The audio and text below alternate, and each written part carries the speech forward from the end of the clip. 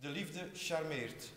Hen die ze ontwapent. De liefde charmeert, laten we ons aan haar overgeven. Ik wil dat je doet zoals iemand het doet wanneer je van iemand houdt, zoals het moet. Ze hebben me gezegd dat het een knappe, sterke jonge man zou zijn. Wat is de echte reden voor zo'n huwelijk? Als ik sterf, liefst ontbreekt er nog maar één ding aan mijn geluk en dat is dat ik een kind van u heb. Het zijn de late bloeiers die de beste vruchten uh, geven. Zoals natuurkundigen constateren dat de bloem heliotroop genaamd onafgebroken met deze dagster meedraait, zo zal mijn hart voortaan meedraaien met het weergaloze licht van uw aanbeden ogen als was het de poolster zelf.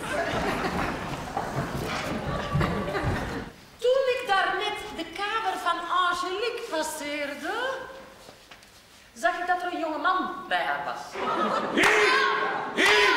En hier! Ik zal niet voor niets de beste van jaren van mijn leven hebben weggegooid. Zou het zo gelukkig kunnen maken? Blijkbaar bevalt dit figuur, dit postuur dat iedereen bewondert. Dit voorkomen gemaakt om liefde op te wekken, waar duizend schoonheden dag en nacht voor zuchten. In één woord, mijn charmante, ik, u, niet. Ik weet wat ik moet doen om mij te wreken. Oh, hoe lief van haar dat ze het zo voor mij opneemt. Maar, u verdedigt mij beter dan ik mijzelf. Ik heb horen zeggen dat in een huwelijk geluk belangrijker is dan geld. Doe niet belachelijk, straks kookt uw melk nog op. Hij houdt van grappen. Kom, we gaan.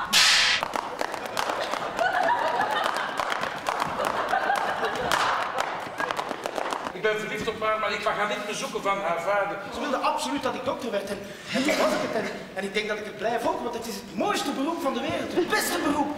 Want ook al doet je slecht of je doet goed, je verdient altijd evenveel. Fatsoenlijk mens, het is mijn eer u mij uw dokter, mijn dokter, u te geven. Ik geloof wel dat ik in staat ben een hevige passie op te wekken. Oh ja. Ah, wat is er? Lekker, wat heb jij daar? Monsieur Thibautier, madame, wenst u een goede dag en zendt u peren vanuit zijn tuin met dit kleine geschreven berichtje. Oh, oh dat zijn bon chrétiens, dat is een goede soort. Zeg tegen monsieur dat ik hem bedank en ik geef u de toelating om het briefje luidop te lezen. Mevrouw, ik zou u het geschenk dat ik u zend niet hebben kunnen overhandigen als ik niet meer fruit oogste dan liefde. De peren zijn nog niet helemaal rijp, maar zij passen des te beter bij de hardheid van uw hart dat mij misprijzend onrijpe peren belooft.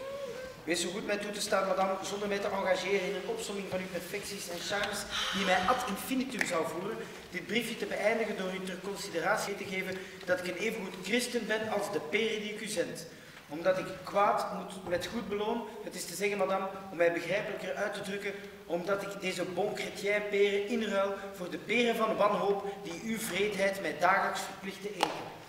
Dat is een briefje om bij te houden. Zeg niet, in ver miljoen, maar wel, ze kost me een miljoen. Ik schepte behagen in u te aanschouwen, ik nam u waar, ik keek naar u.